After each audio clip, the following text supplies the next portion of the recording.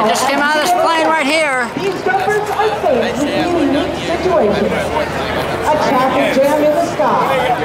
They must gain vertical separation to allow for individual approaches into the target area. This is accomplished by pulling down on the front part of the parachute and spiraling earthward at speeds in excess of 60 miles per hour to set up a tracking pattern, just like you might see aircraft at a busy airport.